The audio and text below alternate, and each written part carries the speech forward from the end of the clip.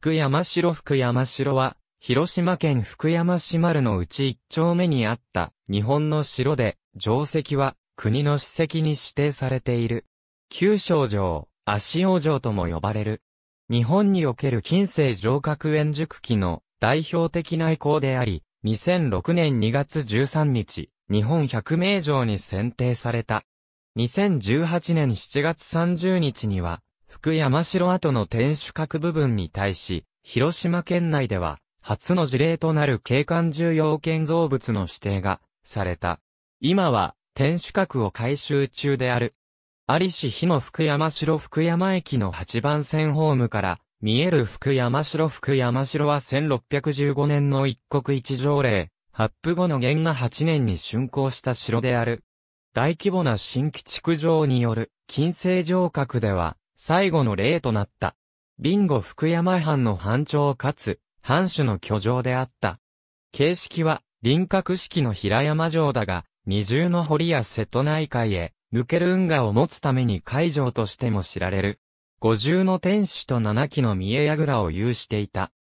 1873年の廃条例によって大蔵省の所管となり、建物の払い下げ、取り壊しが実施されていたが、翌1874年に所在自治体の福山町などの請願によって、本丸の天守、筋鉄御門、伏見櫓、お湯殿、金櫓の5棟の建築物が残されることとなった。そのうち金櫓を除く4棟について、国宝保存法の国宝に指定された。天守以外のこれらの現存建築は、福山城の追記時に、伏見城から移築されたものであったが、昭和20年の福山大空襲によって、伏見櫓、筋鉄五門を残して消失している。一方、本丸以外の城郭以降については、昭和初期までに、城北側にある堀を兼ねた吉川以外のすべての堀が埋められ、三の丸は、大半が、市街地と化すなど、遺構の破壊が進んだ。石垣も大旨本丸と二の丸の大部分と、三の丸のごく一部に残る。現在の天守、月見櫓、お湯殿は1966年に、鉄筋コンクリート構造で復興されたものである。再建された天守内部は、福山市立福山城博物館として利用され、天守最上階の周り園からは市街を360度見渡せ、晴れた日には瀬戸内海を望むこともできる。三の丸南側は JR 福山駅が東西に貫き、新幹線や福塩線のホームからは、天守や伏見櫓が勝立する、本丸跡を間近に望むことができる。南西から見た福山市街福山城追記まで、福山と呼ばれる町はなかった。福山城周辺は、杉原保つと呼ばれ古代から荘園として栄えていた。安土桃山時代には、野上村と解消され、福山城の立つ丘陵は、北側から連なる、山並みの先端部で、常教寺と呼ばれる寺が建てられていた。常教寺は、築城に際して、城下北部に隣接する、吉村に移され、野上村は、城下南西の新海地に移された。南側は、海が、間近に迫る芦田川のデルタ地帯で大部分は、湿地帯や田畑となっていたようである。この時のビンゴ南部の中心地は、福山城から北東約 6km に位置する、西国街道沿いの神戸で、ここに、ビンゴ国の成長である、神戸城があった。また、海においては、福山城から南約 12km にある、沼熊半島南端の友の裏が、海上交通の要衝となっていた。福山城は、江戸時代初期、源内演武の後に建造された、近世城郭で最も新しい城である。元那5年、関ヶ原の戦い以降貧後国、秋国の二国を治めていた、福島正則が、武家諸法度違反により改易されたことから、徳川家康のいとこである、水野勝成が、毛利氏など西日本の有力戸様大名に対する、抑えとして、貧後国先南部と備中国西南部の、計10万国を与えられ、大和国の郡山藩から転封する。入法時の領地目録上は、ビンゴ神鍋城主であったが、勝成の進言により神鍋城はやや内陸にあり、過去に何度も落城した歴史があったことなどから、一国一条例が徹底されていたこの時期としては、異例の新規築城が行われることになったと言われる。上地は、瀬戸内海との往来や西国街道との距離が考慮され、深津郡の上村の常京、寺山一帯が選定された。なお、江戸時代後期の知識によると、現在の福山城から北西約 12km に、ある桜山や南東約 7km にある美濃島も、上地の候補として検討されたとされ、書籍等には、この記述を採用するものも多くあるが、これ以前の資料にはそうした記述は全く確認できず、また、地理的にも桜山はあまりに内陸であり美濃島は、沼熊半島に隣接する完全な島であるなど、信憑性に疑問が指摘されている。築城に祭祀上地に含まれた常教授は、近郊の吉村に移転され、北側は、東西方向に切り開き総構への堀を兼ねた川が、通された。干潟であった南側は干拓されて、城下町が開かれ、この町は、福山と名付けられた。追記は低湿地な場所での工事も多くあったため、元那6年に芦田川の流れを城の北側にある、吉川に分流しようとする工事が大水害により、中断されるなど、困難を極めたと言われる。城の要塞には、福山城の築城に伴い廃城となった神戸城は、元より、江戸幕府より可視された、伏見城の遺材も多く用いられた。この時、伏見城から移築された建造物としては、伏見櫓や月見櫓、御殿、お風呂や鉄御門、追手御門、多門櫓などがある。また、幕府から石垣奉行2名が派遣されている。そして、築城開始から3年近くの歳月を要した元那8年に、福山城は完成する。二重の付け櫓が取り付く複合式の五重天守や、三重櫓7基、二重櫓16基、総延長291件の多門櫓と、十万国の大名の城としてこの規模は、特筆に値する。さらに築城後には、幕府公金から、金1万2600両、銀380貫が貸与されるなど、天下武神に準じる扱いを受けており、福山城が西国街道と瀬戸内海の要衝を守る城として、幕府に期待されていたことが伺える。なお、追記時の縄張りは、若干の改修はあったものの基本的に廃城まで維持されている。勝成の死後、勝利、勝貞、勝主と続いたが、元禄11年五代藩主、水野正真の創生により、無継城風となり、福山藩は一時的に天領とされる。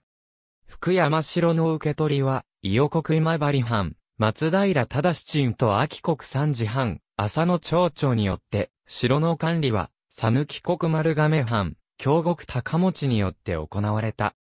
この時領内前域で、備前岡山藩による検地が行われ、福山藩の国高は10万国から5万国増の15万国と査定される。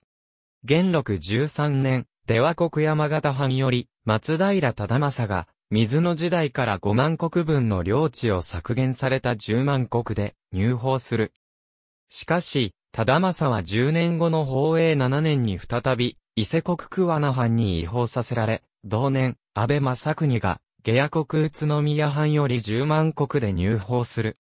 その後、征服、征右、正友、正清、正康と続くがそのほとんどが、江戸住まいで、福山に帰城することも稀であった。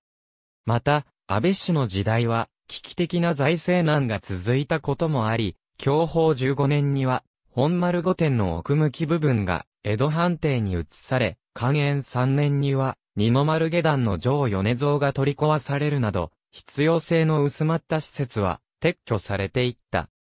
慶応元年、安倍家九代藩主、安倍正方が、第二次長州征伐参加のため岩見国へ出兵することになり、その準備を行っていたところ、二の丸南側の串型櫓で火薬が爆発し、隣接する槍櫓、鉄砲櫓、番所が櫓内の武器と共に消失した。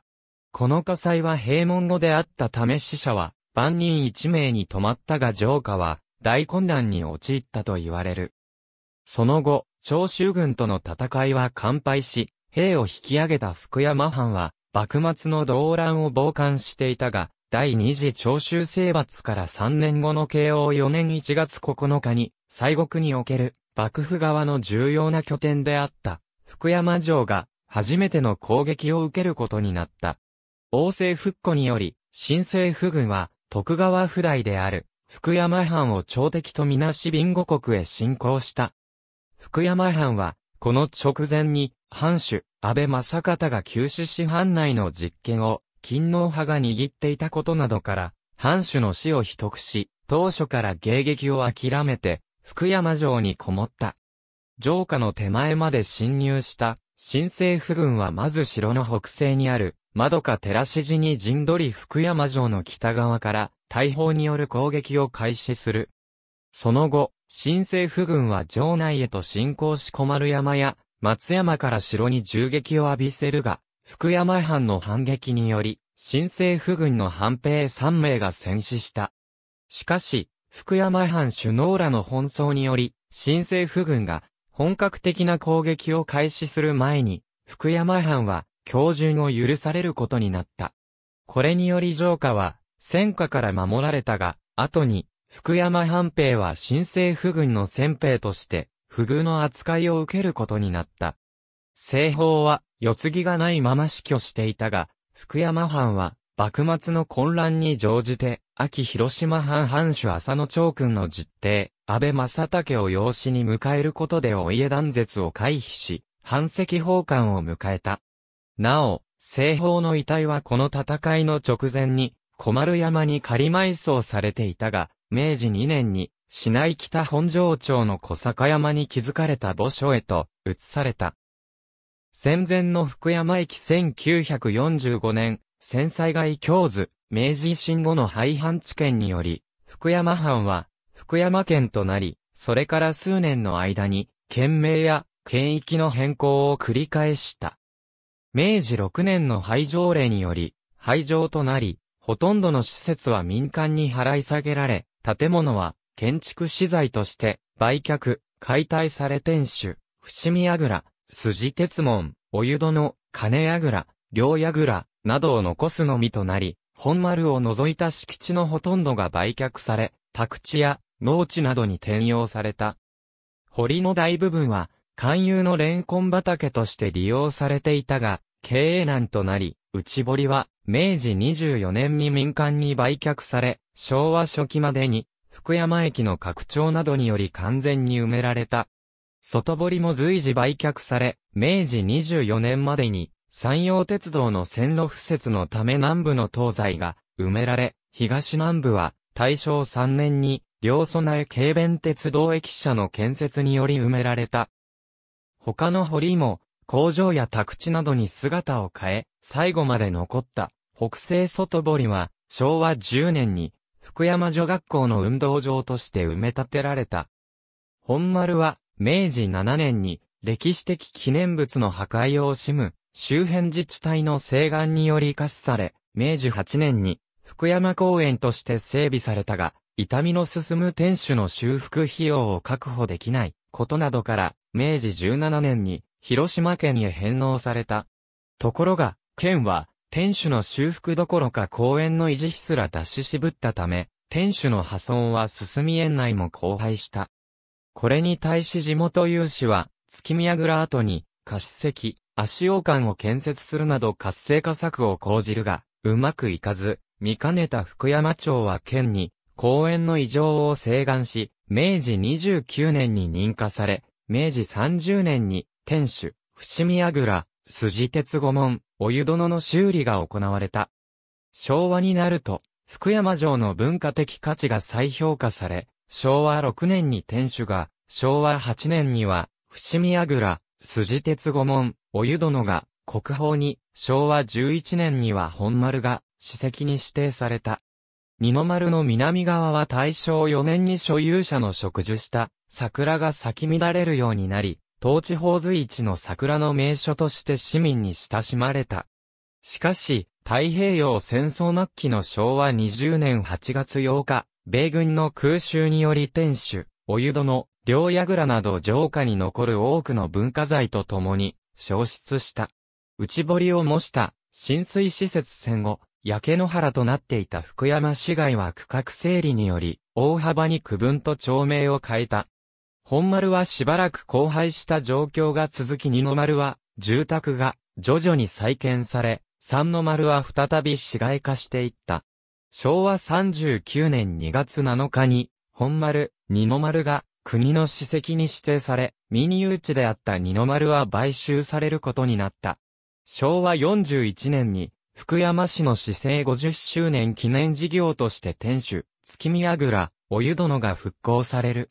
昭和46年に、小丸山の大半が、市による造成で破壊されるなど開発も進められた。昭和48年に、市民らの寄付により鏡櫓が、昭和54年には、福山市により金櫓が復興された。昭和63年頃から、三の丸西側は福、山美術館や広島県立歴史博物館が建てられ、文化ゾーンとして整備された。ただ、文化ゾーン内に埋没する外堀が復元されることはなく、逆に小丸山は美術館建設に伴う周辺整備により、さらに改変され、博物館建設地で発掘された遺構も大部分が撤去されるなど破壊された。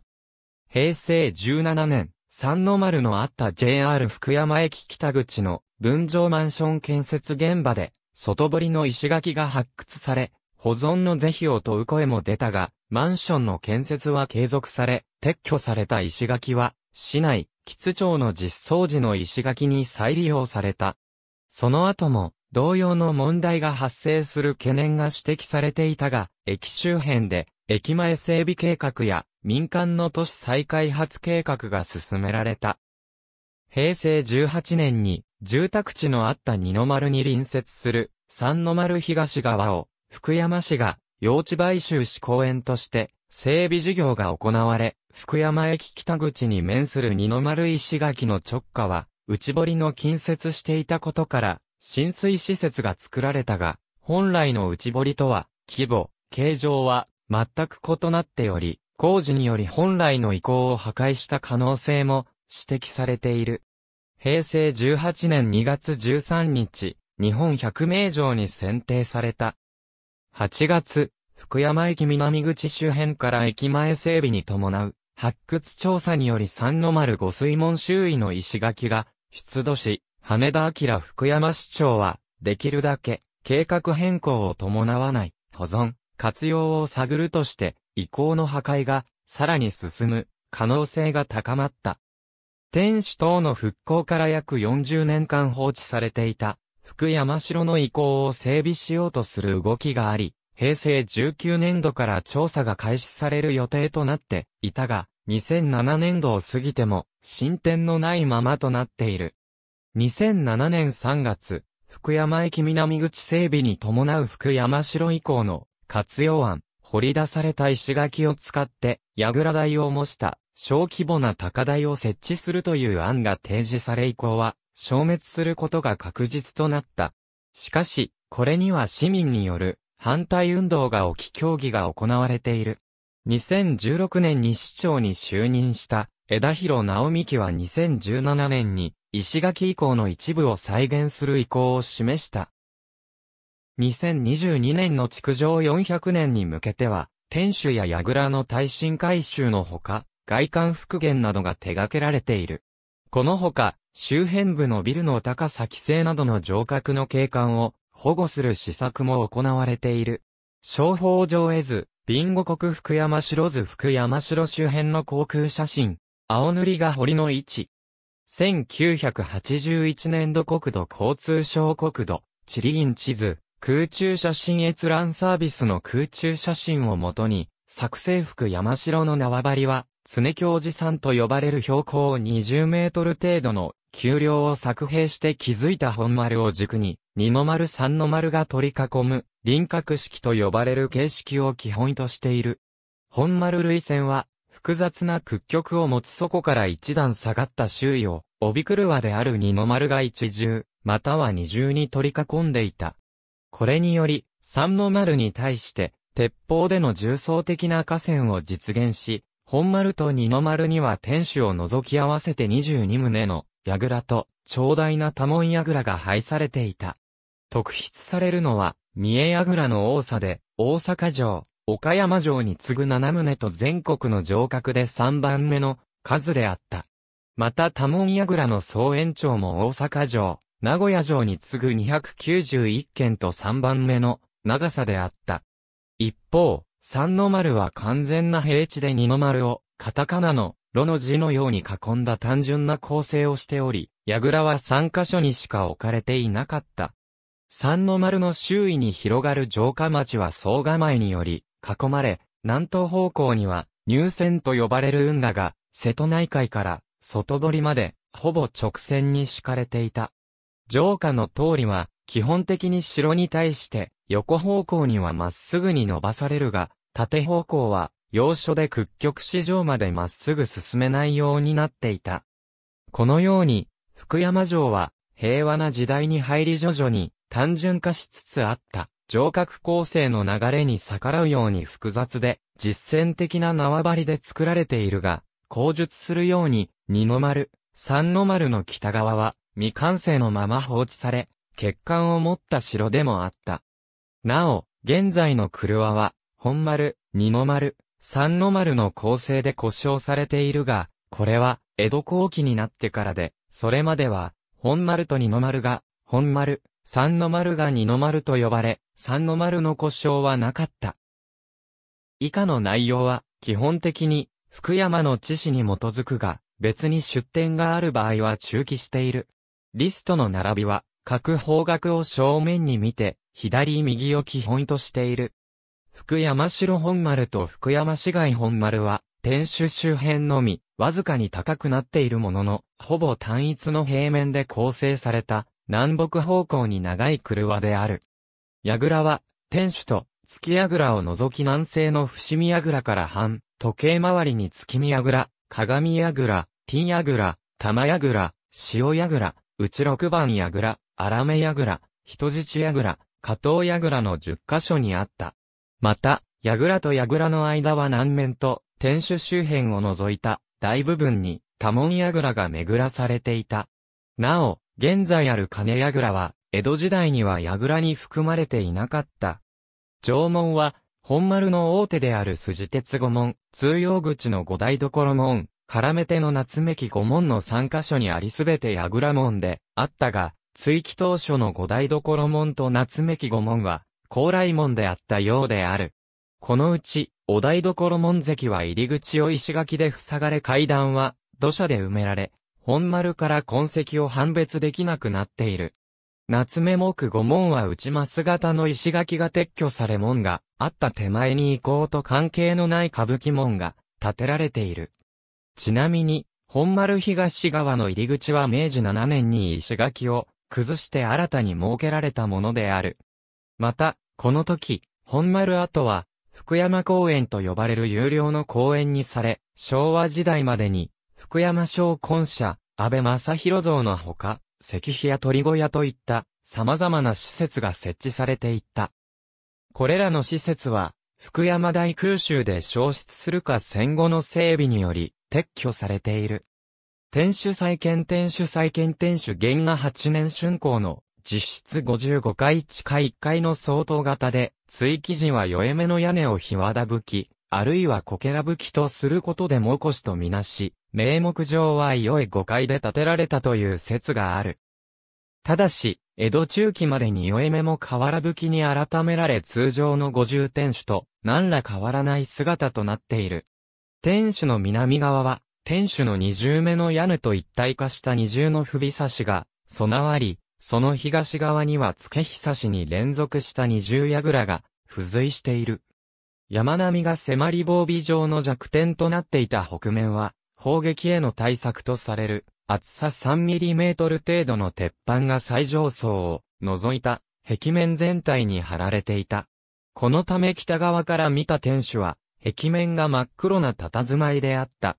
これは、日本全国の天守にも類例がなく福山城天守で、最大の特徴となっていたが再建された天守では、再現されていない。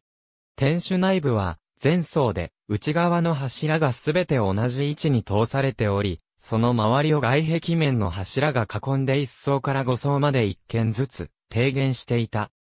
この低減率の低さも、福山城天守の大きな特徴で、天守台の面積は900軒と近隣の広島城や岡山城などと比べても半分程度であるにもかかわらず、最上階は逆に五島と広島城、岡山城より大きかった。各層の破風は内部構造と無関係な装飾的なもので、その配置は徳川系の天守に準じていた。このように極めて規則的な構造を持ち、相当型の形式を体現するかのようにそびえ立つ服、山城の天守は、慶長期に発達した城郭建築技術の完成型と言えるものである。多数の破風に加え最上階には、めぐる円や装飾的な加藤窓が付けられるなど、全くの実用保味というわけではなかった。最上階のめぐる円には、時期は不明だが途中から風雨を防ぐ、トカゲ板戸が付けられ、消失前まで福山城天守の大きな特徴の一つとなっていたが、再建された天守では、板戸は再現されていない。福山城天守は、廃城後も破却を免れ、昭和6年には、天守建築の最終完成型として、高く評され現在も残る姫路城天守や、松本城天守などと同時に国宝に指定される。しかし、昭和20年の福山大空襲で、焼夷弾2発が命中して消失した。その後、天守の後は焼き付いた石垣のみが残る姿となっていたが、昭和41年に天守が鉄筋コンクリート構造により再建された。だが、古写真等の資料が比較的多く残っていたにもかかわらず、史実よりも現代的な美観が優先されたことや、建築基準法に従ったことなどから、蒸気以外にも窓の形状や配置など多くの点が、球状と異なっている。そのため、第二次世界大戦で消失した後復興された、天守の中で最も不正確な姿での再建となり、復元ではなく、復興に分類されている。建物内は、福山市立、福山城博物館として利用され、半世時代の文化財を常時展示し、特別展も年数回催されている。なお、消失前の天守閣会は、以下のようになっていた。本丸御殿本丸御殿表向き跡本丸には、追記当初に、城主の館があった。本丸御殿は、多くの御殿建築と同様に公的な、表向きと私的な、奥向きから構成されていた。表向きは、筋鉄御門から入ると、左正面に式台があり、その左手に内玄関があった。式台の正面は、広間でこの東側に渡り、廊下で繋がれて大書院が建てられていた。大書院の南には、お風呂屋があり王子は渡り、廊下で繋がれていた。大書院の北側は、表今でこちらも大書院と渡り、廊下で繋げられていた。この他に小書院、表題所、料理館などがあり、これらの礎石は、部分的に残されている。奥向きは表向きの北側に位置し奥今、奥台所、長局、などで構成されていた。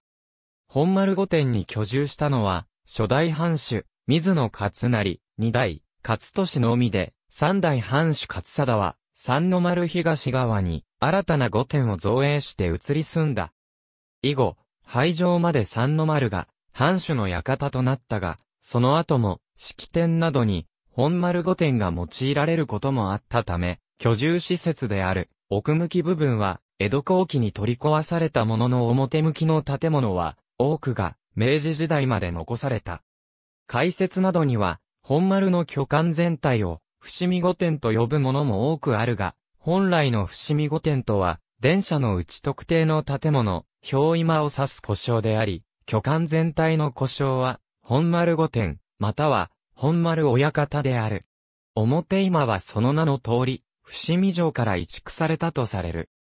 なお、これを秀吉の伏見城からの移築とする説明も多く見られるが、豊臣時代の伏見城は、関ヶ原の戦いの前哨戦において、大部分が消失しており、さらに、江戸時代の知史では、箱舟に、葵の門がついていたと書かれるなど、江戸時代の建築であった可能性が高いと考えられる。本丸の遺構伏見櫓伏見櫓現存。33階で初重と二重は、総二階作りと言われる、同規模の構造を持ち、その上に独立した構造の小さなボーローブを乗せる慶長初期の建築様式を残したボーロー型の櫓である。壁仕上げは白漆喰層塗り込で投げし形を施している。桁行きは8軒あり並みの城郭であれば、天守に相当する規模を持つ。伏見櫓は、慶長6年前後に建てられたと推定される、伏見城松の丸の東櫓を、元那6年に移築したものである。昭和28年の解体修理の際に2階の梁から、松丸の東や倉との牧所が発見され、伏見城から移築された伝承を持つ、櫓の中で唯一仏性により移築が裏付けられている。豊臣時代の伏見城の遺構と説明されることもあるが、豊臣時代の櫓は、関ヶ原の戦いの前哨戦で消失しており、建築様式の面からも、徳川家康の建てた、伏見城の遺構であることは確実である。天守を除けば、熊本城宇都櫓と並び現存する最古の櫓の一つである。半世時代には武器庫として用いられたと言われ、北側は東西両面に多門櫓が巡らされ、東は筋鉄五門まで連続して、増型門状の古港を形成していた。明治時代になると、伏見櫓から続く多門櫓は撤去されて単独で立つ姿となり、内部はビリヤード場や骨董品売り場として用いられるようになった。ちなみに、幼少のイブセマスジもこの売店を訪れたことを自伝に記している。昭和20年の空襲では、伏見櫓周囲は火災を免れ、福山城で唯一の現存する櫓となった。平成17年の台風で屋根瓦が落下、破損したため修理を兼ねた外装微装化工事が平成18年に行われた。現在は原則内部非公開だが、年1回程度公開日が設定されている。重要文化財。現在、現存する、櫓の規模といきさつの兼ね合いから、天守以外での、初めての西国法化への協議が進んでいる。各回は、以下のようになっている。筋鉄五門筋鉄五門筋鉄五角脇の多門櫓を模した、平原村。本丸の正門に位置する櫓門である。筋鉄の名称の通り、一階の扉や門中に、筋状の鉄板が打ち付けられている。二階の門櫓には、白漆喰層塗り米の柱に、投げし形が施され隣接する、伏見櫓と衣装を合わせた可能性が指摘されている。門櫓の内部は公開されていない。重要文化財。伏見城から移築されたと言われることがある。お湯戸の本丸から見たお湯戸の再建。表今と共に、伏見城から移築されたと言われる建物で清水寺のように石垣から建物を突出させた掛け作りの座敷と湯殿で構成されていた。平屋建てで、かつては、本丸御殿の大書院と廊下でつなげられていた。座敷は島藩三軒半と小規模ながら、三畳の上段、七畳の中段、八畳の下段の三段に分かれ、上段の窓から城下南側を一望できるようになっていた。この建物は大正時代頃からお湯殿と呼ばれ、現在もこの故障が広く定着しているが、江戸時代にはお風呂屋と呼ばれお湯殿と呼ばれる施設は本丸内の別の場所に設置されていた。お風呂屋をお湯殿と呼ぶようになった経緯はよくわかっていないが、江戸時代のお湯殿と、現在のお湯殿は別の存在であり、歴史的経緯を考えると、お風呂屋をお湯殿と呼ぶのは、不適切なことに注意が必要である。お風呂屋は、廃藩置県後も残されるが、明治時代には、料亭は転用され、清風楼と名付けられた。このため湯殿部分には調理施設、座敷西側には、玄関が設置されるなど、多くの改変を受けることになった。その後、文化財的価値が見直され、昭和8年には国宝に指定されるが、昭和20年の福山大空襲により天守などと共に消失した。現在の建物は昭和41年に天守や月見櫓と同時に木造で再建されたものであるが、詳細な記録のないままに消失したこともあり、復元されたのは座敷部分のみで、湯戸の部分には流し台やトイレが設置され、各部の衣装も模擬的なものとなっている。江戸時代のお湯殿は本丸御殿の表向き、奥向きそれぞれ一箇所ずつに設置され、詳細は下記の通りである。月宮倉本丸から見た月宮倉、JR 福山駅、6番線ホームから見える月宮倉再建。伏見城の櫓を移築したと言われる。二層二階建てで北側に月櫓を有していた。二層目には、巡る縁があり展望台の機能を持っていたが、天守と同様に途中から風雨を防ぐ板戸が付けられ、これを外さなければ、外部を見渡すことができなくなった。明治初期に取り壊され、跡地には、明治21年に、福山公園の活性化策として、地元有志により、足王館と呼ばれる、貸し会場が建てられた。足王館は、福山市街から見ると、伏見櫓や、お湯殿と、並び目立つ建物であったが、福山大空襲で消失した。現在の月見櫓は昭和41年に天守と同時に鉄筋コンクリートで復興されたものであるが、古写真とは南側正面にある石落としの有無や窓の配置など大きく異なっている。内部はご茶会などの貸し会場として用いられている。鏡櫓本丸から見た鏡櫓。文書館への入り口は裏側にある。本丸東側、月宮倉の北側にある。二層二階建てで、追記時に建てられたが、廃城後間もなくに取り壊された。名称から鏡を収蔵していたと思われるが、王子は北側に、天守直下まで、多門櫓が続き、この多門櫓は、本丸御殿と渡り、廊下で繋げられていたことから、御殿の倉庫としての役割もあったようである。なお、天守東脇にある福山城博物館管理事務所は、この多門櫓を模擬的に再現したものであるが、この間の石垣は、破壊が進み鏡櫓まで、多門櫓が連続する王子の姿を想像するのは、困難となっている。現在の鏡櫓は昭和48年に、福山市名誉市民、村上義日をはじめとした市民の寄付により、鉄筋コンクリートで建てられたもので、建物の形状や窓の配置など王子とは大きく異なっている。内部は文書館として利用され、1階が展示、閲覧室、2階が収蔵庫となっている。休館日は月曜日、水曜日、土曜日、第1.3日曜日、祝日であるが、不定期な休館日もある。なお、内部は空調設備がないので、夏季は扇風機、冬季はストーブが用意されている。また、湿度を管理する設備がないので蔵書は定期的に虫干しが行われているが、これにより閲覧できない資料が生じるので利用には留意が必要である。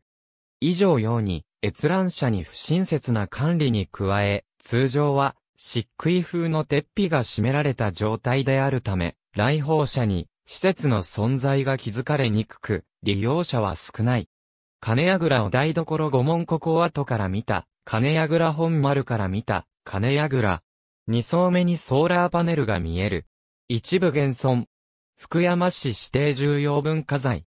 金星城郭で唯一本丸内に位置する金櫓とされるが、王子は金付堂と呼ばれ五台所門と加藤櫓とを結ぶ多門櫓に設置された首楼であった。また、初期の絵図では、金付き堂の姿が描かれておらず当初から本丸にあったのか定かではない。金櫓となったのは、廃城後に周囲の多門櫓が取り壊される中で、金付き堂の周囲のみが残され単独で立つ姿となってからで、L 字型の構造を持つのもこうした経緯のためである。建物は、金付き人の宿舎に利用されたことから、内部、外部ともに甚だしく改変され、昭和31年に金付人が廃止されると、廃墟同然の状態となった。今日の金櫓は、昭和54年に修理、復興されたものであるが、どこまでが、本来の構造か正確にわからなくなっており、建物の大部分は、模擬的なものである。内部は、非公開となっている。復興後、福山中央、ライオンズクラブの寄付により、昭和60年にソーラーパネルを電源とした金付き装置により、定時に自動で鐘が鳴る仕組みが付けられたが、平成17年に装置が故障して、鐘が鳴らなくなった。その後、この故障は、市の予算の不足を理由に1年以上放置されていたが、平成19年に復旧した。ただし、電源は、ソーラーパネルから外部供給に変えられた。なお、金櫓直下にあるこの事情の切り書きが、五台所門のここで二の丸から見ると金櫓の反対側に門の埋められた跡を確認することができる。名称の時間は6時、12時、18時、22時である。二の丸西側の石ル屋と二の丸は本丸を囲む、帯車で西面から北面、北東面にかけては二段に分かれていた。基本的に幅は狭く櫓以外に目立った施設は建てられていなかったが、北面の下段のみは比較的広い敷地があり、上米蔵と呼ばれる幕府から預かった兵糧米を収める蔵が立ち並んでいた。櫓は、東の数の名櫓から半時計回りに、東坂三階櫓、鬼門櫓、唐櫓、神戸四番櫓、神戸三番櫓、神鍋二番櫓、神戸一番櫓、串型櫓、鉄砲櫓の10カ所にあった。このうち5機は、三重櫓で、中でも神鍋一番櫓は、本丸の伏見櫓に次いで大きく、神鍋上天守の一区である、可能性が高いと考えられている。多門櫓は、西側から北側にかけて、二の丸類線の約半分に巡らされていた。なお、串型櫓の月櫓を、槍櫓と呼ぶこともある。城門は、南側の大手筋である鉄五門の他に、東側の東坂口五門、西側の西、坂口五門、北側の三倉口五門があり、これ以外にも、西腰角五門をはじめ車を仕切る門が各所にあったが、いずれも現存しない。鉄五門は、伏見城から移築されたと言われ鉄張りで格式の高い門であったが、福山駅構内隣痕跡は全く残されていない。二の丸を囲む内堀は、車の南半分に掘られているが、北半分には掘られず、三の丸と直に接していた。中でも北面は、石垣も築かれず、福山城の弱点とされているが、追記当初は代わりに、霧岸と呼ばれる、急斜面が成形されていて防備がないわけではなかった。しかし、霧岸は、時代とともに埋没して、安倍時代には、三の丸から二の丸下段に簡単に登れるようになっていた。二の丸は、明治時代になると大半が民間に払い下げられた。石垣も各所で破壊され、昭和時代には多くの民家が立ち並んでいたが、昭和39年に個人に買われ、離縁となっていたが、昭和初期には個人の別荘やテニスコートとなった。この周囲は空襲を免れたこともあり、所有は市に移ったが、現在も同様の状態が続いている。なお、福寿会館の上り口は、二の丸の石垣を崩して通されたもので、テニスコート西側にある、本丸夏目木五門から北に、直線で伸びる道路は、昭和13年に、自動車で、本丸内に入るために造成されたものである。二の丸北東部は近年まで、クジャクや鹿を飼育する檻があったが、昭和53年の水野勝成増根流に伴い撤去された。余談だが、ここに飼育されていた動物たちは、福山ファミリーパークに移された。二の丸西部は1980年代には民家の撤去を終えたが、跡地の大部分は土砂が剥き出しの状態で2008年現在も放置されている。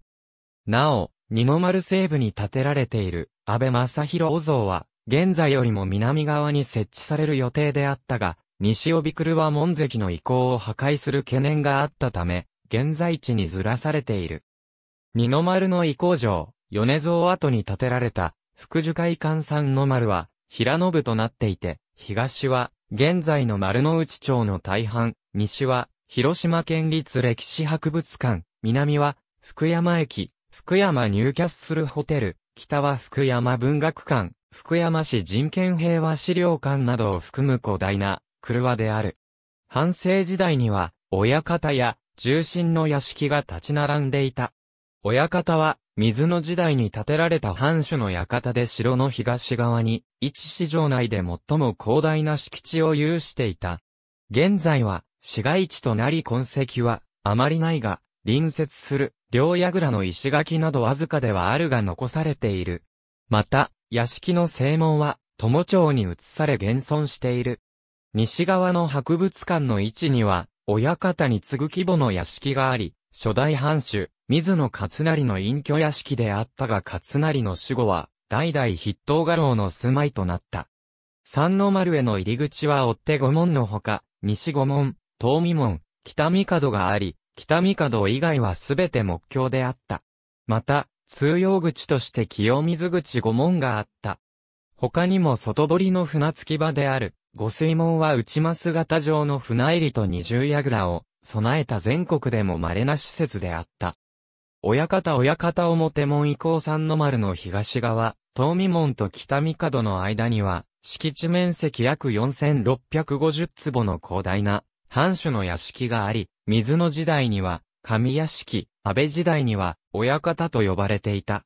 追記当初は、家臣の屋敷が建てられていたが、三代藩主、水野勝貞により築造されて、以後は、藩主の住まいとして幕末まで用いられた。電車は、基本的に、本丸御殿と同様の構成となっており、北側には四代藩主、水野勝主により小山や山水庭園が築かれた。表門は西側にあり幅約90軒の長大な、長屋に連続した長屋門であった。この門は払い下げにより、明治初期に、友町に移築され、商家として、部分的に現存している。なお、この建物を書籍などで、東美門の遺構とすることもあるが、東美門は、親方の南東にあった、櫓門であり、別の建築である。親方は、明治時代になると、福山県庁として用いられたが、建築は、明治期にすべて撤去され後には、福山女学校や深安郡役所が建てられた。現在は、市街地となり、痕跡として残されるのは、親方敷地内にあった、両櫓周辺の石垣のみである。松山西側から見た松山松山は、二の丸のすぐ北側にある小高い山である。山頂東側に、城の守護として、天神社が建てられたため、天神山とも呼ばれる。追記以前は、本丸、二の丸となる、常教寺さんと地続きであったが、この間を掘り割って分断し、上水道の水源を導く小川が通された。天神社の境内には、慶安年間に松山寺と呼ばれる寺が建てられ、参道は東側から伸びていた。松山は本来であれば、三の丸に含まれるべき位置にあるが堀や石垣などの防備施設は設けられず、城下とは竹作により仕切られるのみであった。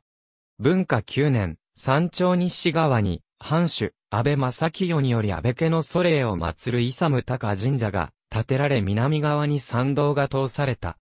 ちなみに、幕末の歌人松本良縁は、装備の乱れし髪を言わずして、金貨、頭を、イサム高神とはという教科を読み、福山藩の開祖である、水野勝成を祀る装備神社の後輩が放置される。一方で、イサム高神社の実が整備される様子を嘆いている。明治維新に、福山城が長州藩の攻撃を受ける直前には、松山が防衛上の弱点として問題視され、北側の斜面を削って胸壁が築かれた。しかし、ここ以外は竹作のみのままであったため、長州兵は竹作部分から容易に城内へと侵入しており、あまり効果がなかったようである。なお、胸壁構築に障害となった天神社は、城下の南東端へと移された。太平洋戦争後になると、松山は開発が進み、南東部は福山市武道館や福山市民交流館の建設により崩され、西部は貧後五国神社の参道が新たに設けられ麓に神門が建てられた。北面の胸壁は近年に道路拡張のため削られ、明治維新の時よりさらに険しい斜面となっている。なお、天神社のあった場所は、貧後五国神社本殿の裏手であるが、現在は雑木林となっていて、断崖もあるので立ち入りは危険である。また、痕跡は、参道も含め残されていない。ただし、天神産の故障のみは、現在も広く用いられている。小丸山小丸山は、二の丸の西北にある、小規模な丘陵である。松山と同様に築城以前は、常京寺さんと地続きであったが、堀切により分断された。小丸の名称から車の役割が想定されていたようであるが、防衛施設は何もなく、城下との間は、竹作により隔てられるのみであった。明治維新の時には急死した、藩主、安倍正方が仮埋葬され、長州藩との攻防の舞台となった。昭和46年には、テニスコート及び駐車場建設のため、小丸山の造成が始まるが、これを知った文化財保護審議会が工事の中止を市長に要請し、工事は中止された。しかし、小丸山はすでに半ば崩されており、駐車場も造成を終えていたため、テニスコートを北側にずらすことで、部分的に保存されることになった。残された部分は崩した土砂を補い昭和48年に市の史跡に指定された。その後、この丘を先人の森と称して、福山の歴史を築いた人物に関わる石碑が集められた。このうち、山頂付近に置かれた、水野勝聖樹碑は、京都大徳寺にあったものであるが、ここに至る歩道は、整備されておらず、すぐ裏側は崖である。昭和51年に、小丸山東側に、城下の侍屋敷から、長屋門が移築されるが、この設置より、小丸山の一部が切り崩されている。さらに、昭和63年、福山美術館建設により南斜面が崩され、中腹部に新たな歩道が通された。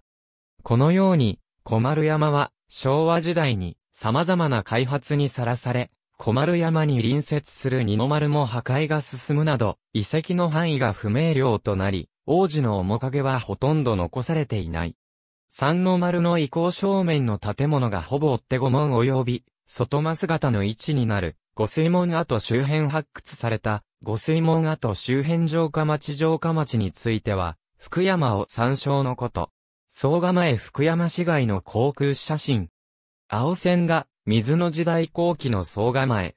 1981年度国土交通省国土、地理院地図、空中写真閲覧サービスの空中写真をもとに、作成福山城の城下町は、総構えと呼ばれる外角が取り囲んでいた。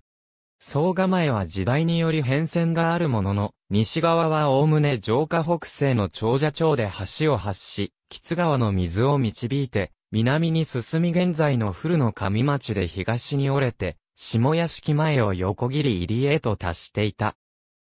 この名残が、道三川であるが、駅前大通りより、下流は、流路が、大幅に変えられている。東側は、広志修寺の裏からやはり、吉川を水源として寺町を囲むように南に、下り藩の船を係留する、船入りの先で入江に合流していた。追記初期の総構えは、城下のほとんどを取り込んでいたが、町は、次第に、総構えの外側へと範囲を広げていき、水の時代後期までに東側に、三好町が南側に、道山町が新たに形成された。遠方4年には、土塁から石類に回収されるなど、たびたびの回収があったようだが、幕末には、市街地にうずもれた部分も多かったようである。総構への移行は、開発や区画整理等によりほとんど消滅しているが、空襲の被害が少なく区画整理事業対象にならなかった桜馬場町東町、寺町付近には狭くはなっているが、水路や石垣も残っている。入江入江は、外堀と瀬戸内海とを結ぶ運河で、外堀の南東端から南東方向に城下を分断するようにほぼ直線で掘られていた。追記当初は外堀に船で出入りできたと言われ、三の丸には二重櫓を備えたマス型状の船着き場が設けられていた。城下と三の丸とをつなぐ橋も、北三角を除きすべて木橋が架けられ、船は橋を潜り、外堀の各所を自在に通行できるようになっていた。追記当初の海岸線は城下を出て、すぐにあったため当初の入江は、全長 1.5km 程度であったが、城下の干拓が進むにつれ入江も延伸され、最終的には、全長約 4km になった。福山藩は大規模な船団を保有しており、船の多くは、入江の北岸で、城下島南端の船入りに係留された。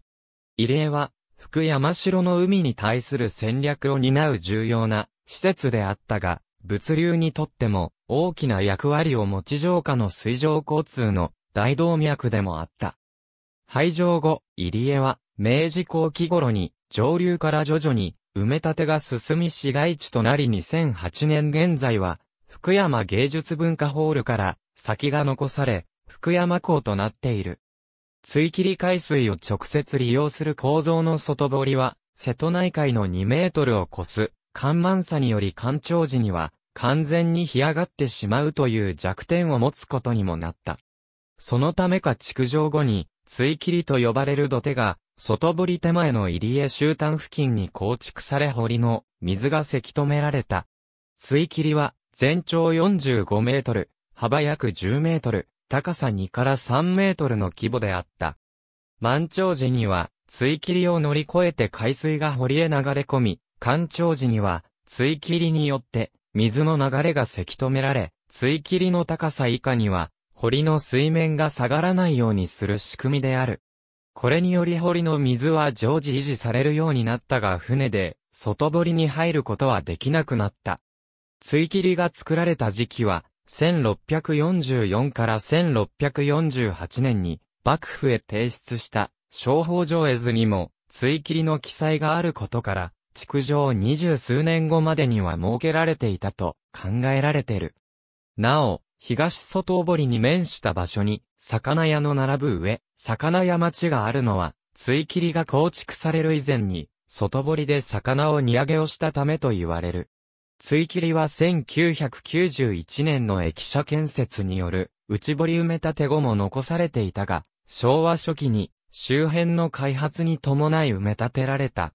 2014年の伏見町の民有地再開発に伴う試掘調査で地下50センチメートルに追切りの石垣が発掘されている。福山市では築城400年を記念して追切りが発掘された周囲一帯の民有地を買い取って公園として整備することを検討している。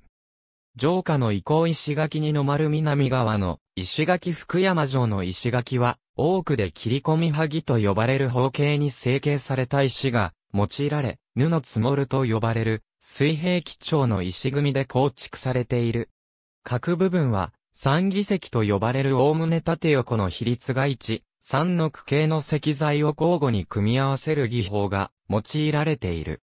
これらは、慶長時代に発達した構築技術の頂点に位置するもので、安定性が高く、今日に残される石垣のほとんどは積み直されることなく、追記時のまま維持され、経年による、ハラミも、ほとんど見られない。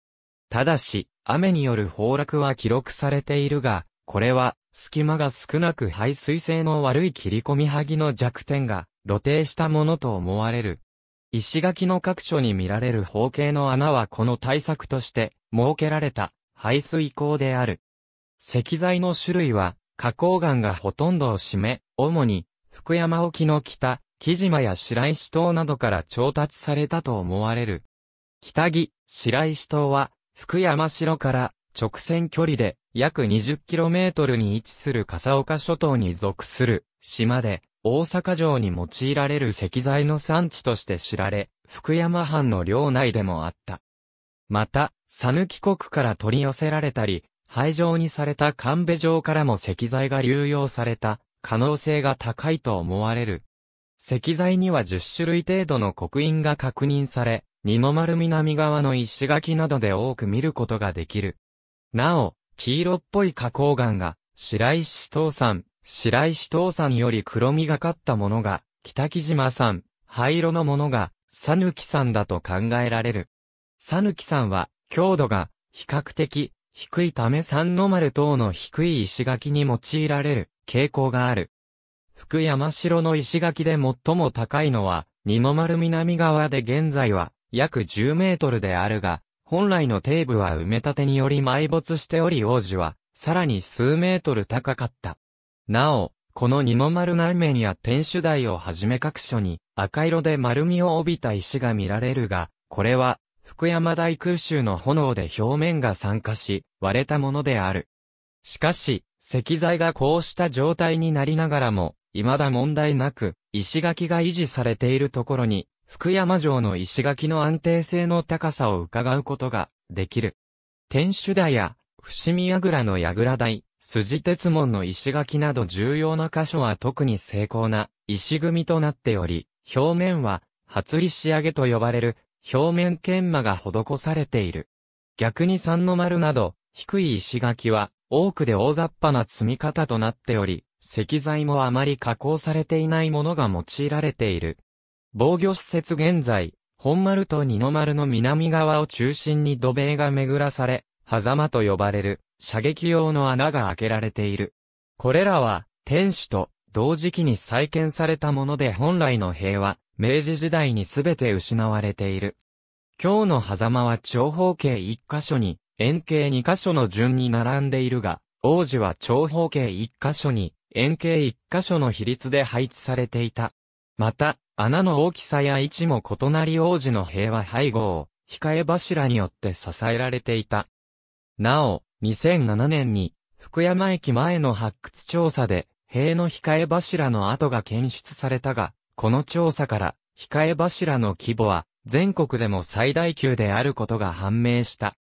本丸筋鉄五角脇の屋根のついた塀も、土塀と同時に建てられたものであるが、これはここにあった、多門櫓を模擬的に再現したものである。このほか、福山城の特徴として、石落としと呼ばれる、不射施設がないことが挙げられる。石落としは、金星城郭の多くに見られるものであるが、これを設けなかった理由については分かっていない。絡めての不備福山城の北側は、追記当初から堀や石垣が設けられず、福山城の弱点とされている。俗説では、江戸幕府に対する配慮として、源内演部の軍備縮小の方針に従い、また他の戸様大名への関係をおもんぱかって、絡めての防備設備の放棄を余儀なくされ、それを補うために、後配地の小丸山や松山などを残して、備えとしたとされるが、実際には、防備を不完全にすることは、城として意味をなさないことになるので、幕府の西国における拠点という築城の目的から、すれば、本末転倒と言える。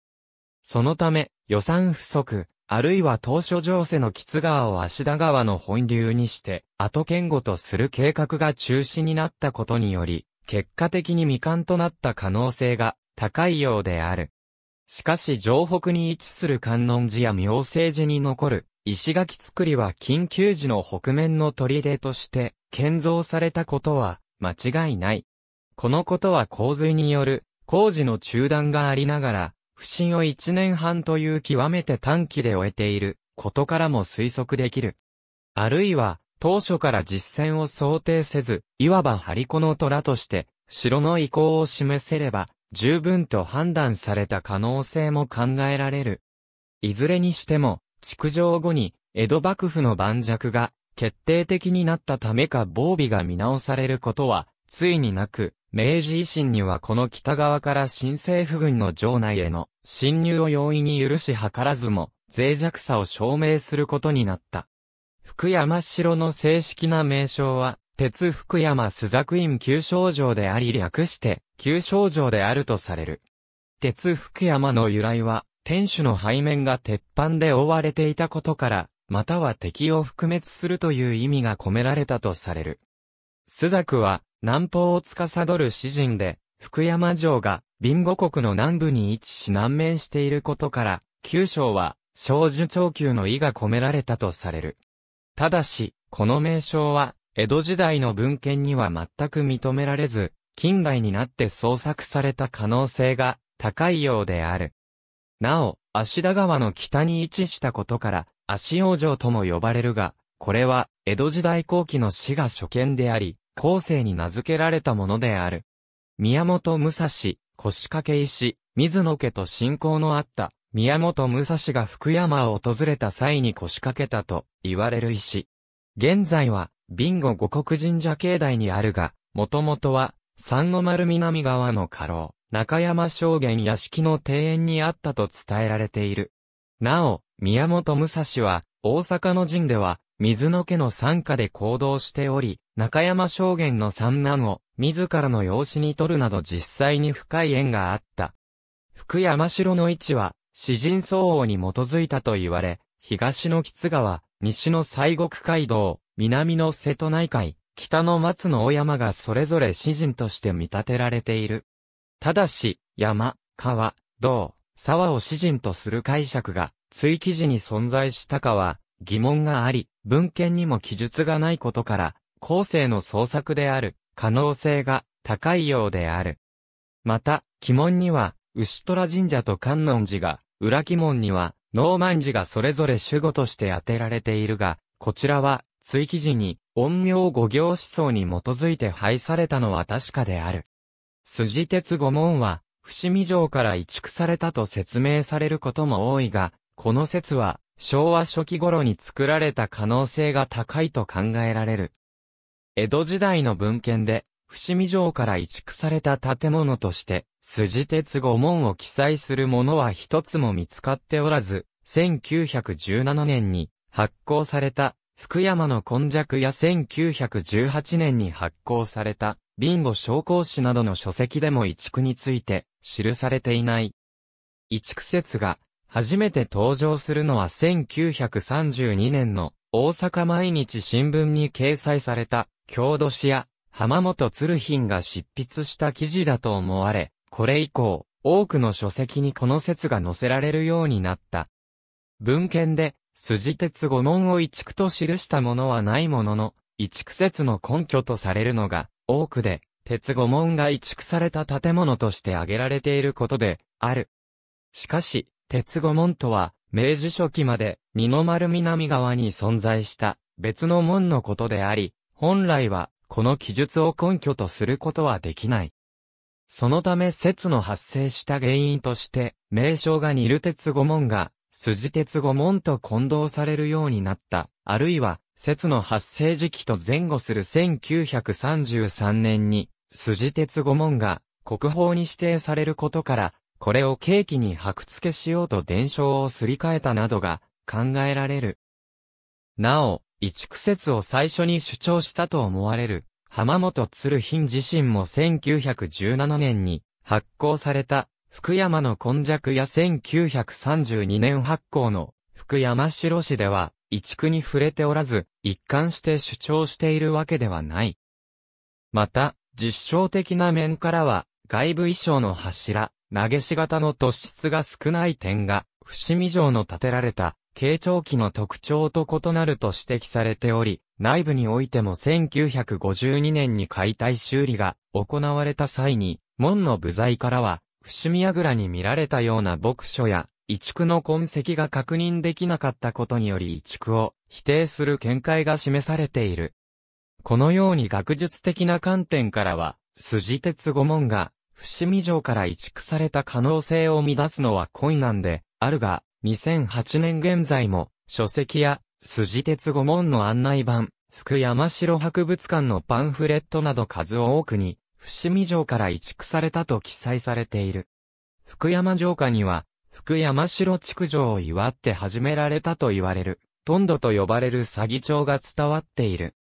見たか見てきたか福山の城を、前は、お堀で、ボラが住むと歌われ海につながり、汽水であった福山城の外堀が名物となっていた、ことが伺える。この祭りにちなんで作られた、トンドまんじゅうは、福山の名物となっている。福山城公園の内本丸部分は夜間に閉鎖される。二の丸三の丸部分は24時間入園可能であるが、夜間の二の丸帯黒輪部分は薄暗く、人気も少ない。また、城の北側を横断する道路は近年までナンパスポットとして特に週末になると若者が集っていたが、これに対して近隣住民から苦情が相次ぐなど問題視され、平成16年12月から夜間通行止めにされている。博物館入口福山城博物館は、福山城公園内に1966年に再建された福山城天守を利用して設置された博物館である。財団法人福山芸術文化振興財団が管理、運営している。3階及び中4階の天井においてアスベストの使用が明らかとなり、2019年8月3日より休館し、対応を検討している。展示品は、歴代藩主の遺品や福山の歴史と文化に関する資料を中心としている。館内の撮影は、最上階の展望台を除き禁止されている。福山城について書かれた書籍には文献にはない、逸話が混在するものが多い。これは、昭和初期頃に、福山城を体系的に研究した浜本鶴品が、福山城の価値を誇張するあまり、多くの逸話を創作したことに発端があると見られている。内容としては、天守は、豊臣時代の大阪城が参考にされた、本丸御殿は、呪落台の建築が移された、伏見櫓も、豊臣時代の伏見城から移されたなど、豊臣秀吉を結びつけようとするものが多く、これらは建築学的な見地や文献から否定されている。また、筋鉄御門が、伏見城から移されたとする説も、浜本鶴品が執筆した新聞記事が初見であると見られている。ただし、伏見櫓については、昭和17年に、木戸久志の実証的な研究により、江戸時代の遺構であることが確実視されるようになったため、秀吉と結びつけられることはなくなっている。ありがとうございます。